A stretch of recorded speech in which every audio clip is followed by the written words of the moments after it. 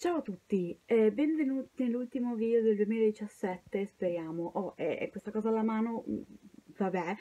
Comunque, ultimo video del 2017 dove vi parlerò dei miei regali di Natale.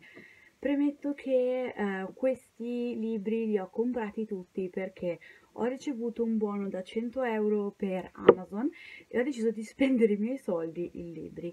Quindi direi di iniziare subito e eh, vi faccio andare a vedere questi libri. Il primo libro che vi mostro che mi è arrivato due minuti fa è History is All You Left Me di Adam Silvera. Questo è un libro che è nella mia TBR, eh, cioè nel mio mm, lista desideri di Amazon, da tantissimo tempo, e anche se non ho idea di cosa, di cosa parli. Ricordo che c'è un personaggio che muore, eh, mi pare il fratello del protagonista, possibile. Io sono una persona che quando compra un libro di solito guarda le recensioni che ci sono su YouTube, però poi non tanto di più, nel senso che voglio godermi il libro così com'è, scoprire le cose così come sono, quindi anche qui. Altro libro che mi è arrivato stamattina è The Gentleman's Guide to Wish... no, oh mio Dio! The Gentleman's Guide to Vice and Virtue di Mackenzie Lee. Anche questo libro era tipo super hypato, non so come si dica in italiano, super amato, insomma tutti ne parlavano e a parte la bellezza dell'edizione ehm, mi ispira moltissimo, anche qui però non so moltissimo di cosa parli, ispirava un sacco che il protagonista si chiamasse di cognome Montague, che è Montecchi, e boh, mi ispirava troppo questa, solamente questa cosa, sebbene io non sia una grande fan di Romeo e Giulietta, eh, non lo so, mi ispirava come cosa, e non lo so, mi ispirava tutto di questo libro in realtà, e andiamo avanti. Altro libro che mi è arrivato per Natale è The Rest of Us Just Live Here di Patrick Ness. Questo libro mi ispirava molto perché parla di quelle persone che non sono i chosen one, che sono semplicemente delle persone normali che appunto non sono i prescelti e quindi non lo so, mi ispirava molto questo tema, volevo un pochino andare a vedere dove andava a parare questa storia e non lo so, poi il libro in sé è bellissimo e mm, boh, eh, le solite cose, cioè un libro è bello e quindi yay. Altro libro di Adam Silvera, che è lo stesso di uh, History is All You Left Me, è They Both Die at the End, in the End, at the end, at the end. La versione è stupenda, cioè a me piace tantissimo questo arancione con poi la, mm, la spina della copertina eh, così in questo blu oceanizzante. Anche questo comunque è una trama che mi ispira moltissimo perché parla di questi due ragazzi che eh, praticamente gli viene detto che quel giorno li devono morire e loro attraverso un'applicazione che si chiama Last Friend eh, diventeranno amici. Poi non so se è un libro LGBT, non lo so, eh, però eh, non lo so, mi ispirava molto questa, questa cosa e quindi sì.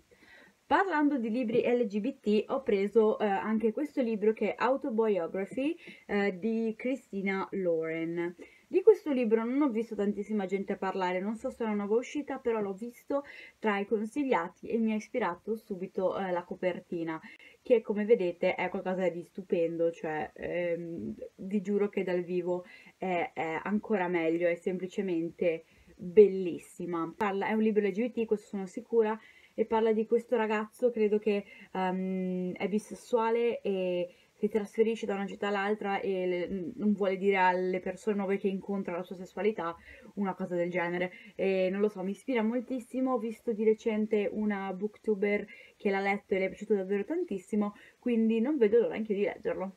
Abbiamo poi um, Eliza and Her Monsters di Francesca Zappia. Parla di Eliza, che è appunto questa ragazza che soffre di qualche mental illness, non mi ricordo quale, forse anxiety, um, che scrive questa fanfiction e nella sua scuola c'è tipo il capo del fan club di questa sua fanfiction una cosa del genere, però l'uno non sa dell'altra, non lo so, mi ispira davvero tantissimo. Io questo è uno dei primi libri che voglio leggere nel 2017, 2018 e sicuramente sarà questo perché mi ispira davvero tantissimo. Io, io boh, bellissimo. L'unico libro in italiano che ho comprato è stato Gemina di Amy Kaufman e J. Christophe. Gemina è il secondo volume di Illuminé, eh, sempre degli stessi autori, solo che eh, Gemina parlerà non degli stessi personaggi di Illuminé, ma di altri personaggi. Eh, mi pare Hannah e l'altro non mi ricordo come si chiama. Hannah e Nick. Hannah e Nick non so di cosa parla perché non ho avuto spoilerarmi niente, non sapevo di cosa parlava il Luminé.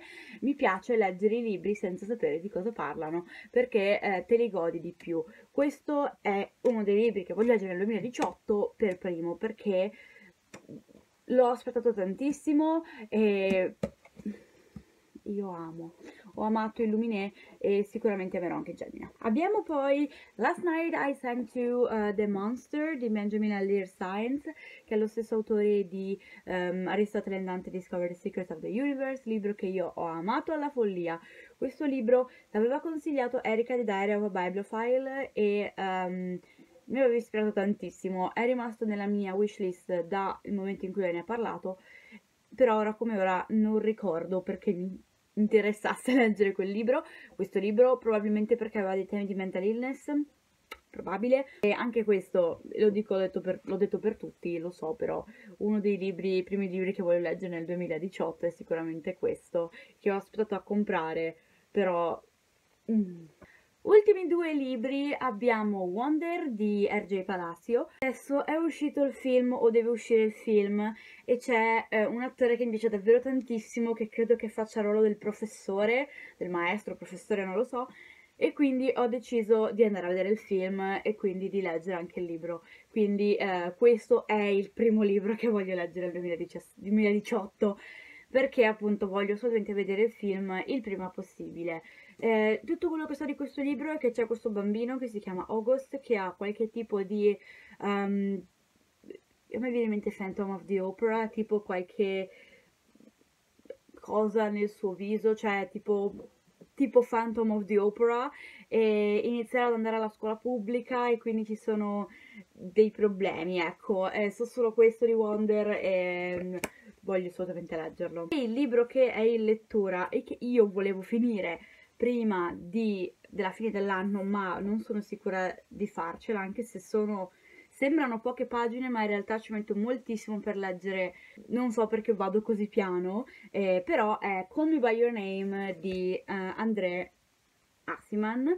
Questo è un libro LGBT perché parla di um, Elio, che è questo ragazzo di famiglia benestante, secondo me, che è americano e ebreo, che eh, siede una casa uh, in Italia e ci va d'estate e i suoi genitori ospitano anche una persona un po' randomica, a mio parere, che può stare lì per un tot di settimane. In questo caso la storia che racconta è di appunto Oliver, che è questo ragazzo che starà lì sei settimane, di cui Elio è innamoratissimo. E è un libro che mi hanno detto è molto esplicito e devo ammettere che è vero, ho letto 40 pagine, però è esplicito e per quanto riguarda l'inglese è un pochino, com- cioè non complicato, però se vado lenta vuol dire che ci devo proprio leggere ogni frase, però è molto molto bello, è molto molto dolce e molto molto esplicito. Cioè c'era questa frase che stanno parlando delle albicocche e in, italia- in, in inglese dice apri- apricot e lui tipo parlava del fatto che voleva vedere il suo apricot. Boh, esplicito in quel senso, credo, poi non so se peggiora, diciamo, andando avanti col libro, però non lo so, mi sta piacendo davvero tantissimo e quindi ve lo consiglio per adesso, però insomma ne parleremo meglio nei vari wrap up. Questi qui sono i libri che ho ricevuto per Natale, sono molto molto fiera dei miei uh, acquisti, ditemi voi se avete letto qualcuno di questi libri, cosa ne pensate, noi ci vediamo al prossimo video e bye!